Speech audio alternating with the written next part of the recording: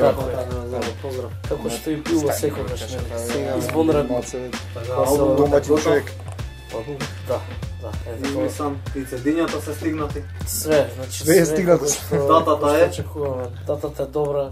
Добра, тука. Ама е, девети. 9 е, 9 април. Така. 9 април е датата, шега на страна. Иако е добра дата. Промоција на албумот на Чуј го вистинко. да, нашата е, девиза е не гледате луѓето на глава, ами што имаат во Шега на. Па албумот излезе као склоп на, на гневот што се содржи од нас како артисти.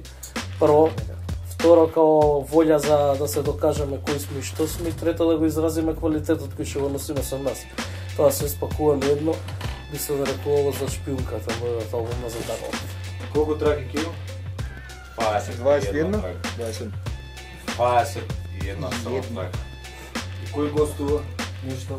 Гостува, вокални гостувања нема, Нема. никакви. Ама аудио? Има Нема една продукција Гоца Сав, поздрав до Гоца Сав, има една продукција И- до Бажа, поздрав до Бажа. Свири Поки од Conquering Lion на една песна и свири бас Дина од Паут там на една песна. Другото сме ние. За да. Ние сами. Колку сме, толку сме многу. сме. Колку сме, толку сме 11. Што се чекаше толку време, луѓе? Што знаеш, фати малку паника. Тоа не не беше паника као. Не, нека е вас. Уопшта Општо популација рада.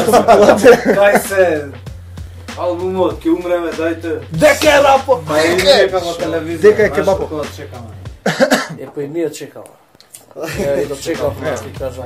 Добро. Немаше Се причина некоја... полесно? Знаеш како кога ние сме таква екипа која што е сериозна во секој поглед, без разлика дали било тоа работење на музика, дали било тоа е, поврзаност меѓу луѓе, дружба и слично, секогаш сме биле сериозни. Е, сега не сакавме да излезе срањето колку да излезе, Напас. сакавме да Да. бидеме малце по по по по по посветени. Колку време работевте? Филтрација имали, две години, две, години се работи. Се работи. Да, две непреспиени години за дар. Прво работење со мене. Колку песни снимивте за да обстојат 27? Снимивме 22 песни за општо 20. А ова 27 има символика нека? Има- Има ган салун Не, нешто. воопшто нема Чисто никаква така символика, не, се работеше континуирано на, на материјал, се дојде една бројка, sad да не откривам, и се одлучивме дека од таа бројка се што ќе се сработи ќе се селектира. Од таа бројка до сад све што се сработи се селектираше и беше квалификувано во албумот, реално гледано. Пројде. Не наметнато свесно, ама си влезе некако.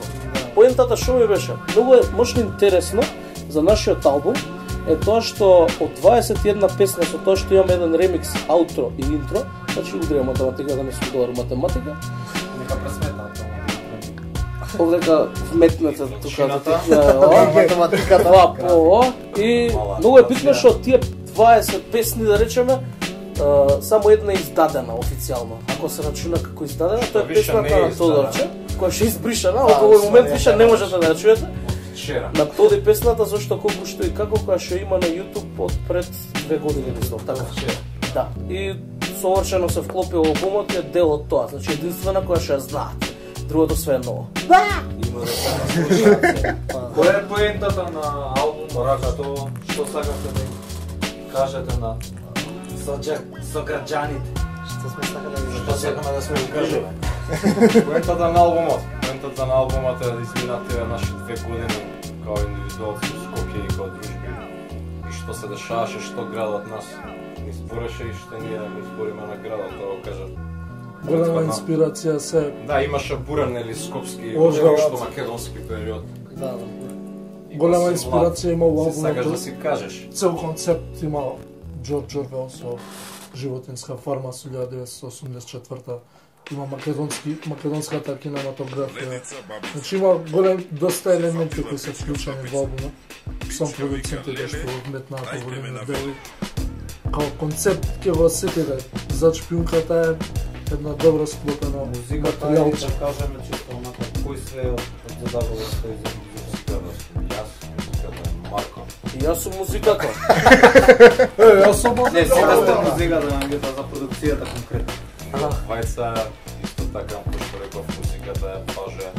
А чекај за спотов што е у најава нешто као Бранко. Покрај Брент се. Точно така. Тоа е убиото, така? Да. Тоа е као Аутрото е дело на Тревис Бикл. Тоа па еве тук сме на таа тема, значи песната е онака спотот е малку е на готов. Скоро, скоро е има готов, има уште албум, значи песната се вика Спас ви нема и е споено заедно со интрото. А, Као што реков, Зале. Две песни у една, значи спотот у е. Да, комбинација од спот за интрото и спот за Спас Винела. Ќе видите за некој ден. за Тоа би било по прилика за недела дена новиот видео запис. би требало да биде готов. Сега Други Бранко планирани се. уште два спота. Да, да, планирано се. Да. Ќе има задаголска 2016. Ако идеме по плановите на нашите вака бозочиња, треба многу, многу, многу видеа, тоа е дури онака човек Треба Ман- 21 видео. Да, али тоа што ни го дава времето, можностите и средствата е да се направат макар уште три видеа плюс. Значи минимум зборам у поглед на промовирање на албумот, без разлика што еден албум, еден спот ќе излезе после после промоцијата на албумот. Добро, брзо после изработи. месец. Да, И добро сега логично прашање, концерт кога? Да, може. малце Не се знае. Ќе- да- биде да околу налегне, да налегне малце, да знаеш. така, да легне малку. Да легне малце па ќе има и концерт. Пуштиве Воена зона. Инспирација. А, Лети. Иначе, иначе уште еден човек е задолжен исто така за видеата, што работи со Бранко, тоа е Жога, Илија. Да, да, голем поздрав. Голем поздрав и Жога. да, Жога, Жога, Илија. можеме Жога да го Жога. да Жога, Жога Жога. MC. Ова е за Жога, сине, да знаеш дека не се брумки. Он се знаеш што. Он се знае. Значи, се не се брум. Каде ќе го има CD-то, што ќе го има, како ќе да се стигне до него? На промоција во Бадо бар на 9 април по 20 часа. Таму ќе го има продава на промоција. Да Значи- земете кефче. И после Да. инбокс. После у инбокс После ќе се тоа ши се каде пред тоа сака. се бараме. А 250 денари промотивна цена вечерта. Понатаму отом потом. Ќе има Ќе го има туркање, влечење. најверојатно југотон, да. Да Најверојатно се југотон. заангажираме да го има. Ќе видиме. Се зависи. Да или на автопазар. Иако го На нема. гајби. Да речеме, Има све.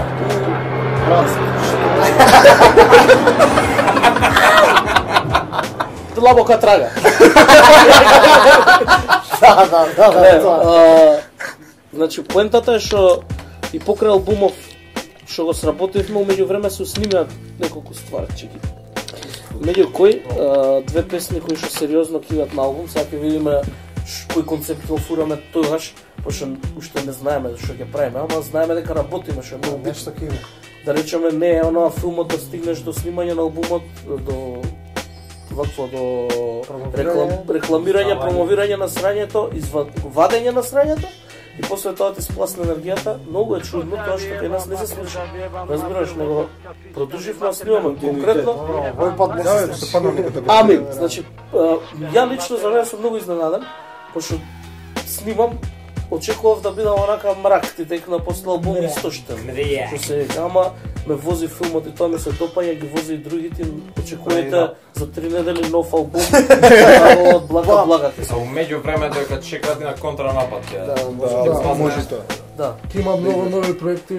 Кога се склопи за Даголо, чисто еден ремайндер, малку историја. Марчек не ми кажеш? Да, Марчо може да Марчо, каже да тој даде е совет. Марче, Давид, За тоа одговор. Дај каже ние прикажаме. Продуцентскиот стол. Еве, еве, седни тука, светло ни треба тука. Добро, на светло идеме, ајде. Ајде, на светло. Седнам до колегата. Кога се склопи за Даголот, па за Даголот се го гледаш стартно како почнавме, почнавме со кочка кој што дојде претходно снимаше кај Скит. И дојде кај мене 2006. Значи 10 години нешто. Од старт он е првиот. Бабачка се убација после длабока трага. Па се убација контранапад. Па пак Пак и дојде со Алфа прва песна снима, почна да се снимаат се усвори како соло некои проекти. Тоа е 2006-2007, така? Осма сум, јас сум најмал. О, да, најмал. Јас сум тазара, Рамо, И искуство. после снимање усвори како индивидуално, сконтавме дека после Пиволент имавме на настап 2000 12. 11, не, 11 или 11. 11. На Борис Трековски или? Да, Да. Два имаш еден по друг, едниот беше да. 11, другиот беше 12. Да. И усредно 2011 свативме дека треба да правиме некој албум заеднички да се пушти, да се пробаме да видиме што можеме да правиме. И одма го направивте чуе го вистинко. Да, така, така. Другото, другиот пиволент беше албумот. Да, Да. другиот беше, па тоа беше 2011 летото. а, Другото лето. 2012 јануар влеговме да го снимаме Чуве го вистинко. Вожите за група што го има тоа кој е на сцена, ти текна има енергијата, ја дава, ја не се штеди, не Зашто сме не мајмуни? разбираш. Зашо? не- Мармон Идеме да се Мармон измајмучиме бе во. Мора се оправам, тоа е хип хоп се да знаеш. според мене СВП важи за есновски состав. И Марче и Бранко уште. Па не навлекува, бе. Уште време. Да, Па, да, Такви да. сме функцирали. Ото колку го снимавте, Бранко е колку бил сат? Не, не прашувам, не прашувам, не прашувам. Ото, Колку време? па, три недели Три сигурно. недели, Така. четири, Недели четири сигурно. сат станува. Да, пошто Да, со па, Бајле од тоа е. 4 се снимаше многу пати. Плюс се снимаше кај мене кај ше студиото у, у Ѓорче. А, така да пробај со една камера, па не, па иде боле, па ќе најдеме вакво опрема, па со боле опрема, па не знам што, па светло, па ш- не знам што се, не милион пати дефинитивно снимав. Буквално онака не се дојде од тоа што баш требаше да Работата е што требаше сплетна околности да се создае таков за да може да се сними, пошто некои кадри се снимаат и надвор, па ти треба дошти. Маската е Па на богови да... Среќа Очи ќе имав можеш. мисис на наша страна. Да се сними работа. Фала ви многу за интервјуто, се гледаме на девети. Сакам да кажам другарчиња мои, на 9 април да дојдете на промоција за Даголот, за шпиунката во Бадубар од 21 часот. 250 денари е цедето. Јас мислам Јас мислам дека тоа е една една совршена можност за вие самите да се пронајдете во нешто што е добро. Јас сум Павле, а ние сме за Даголот. Ево вие се гледаме на 9 упадо другарче. Плака, плака, плака. Гравитирам барам ризла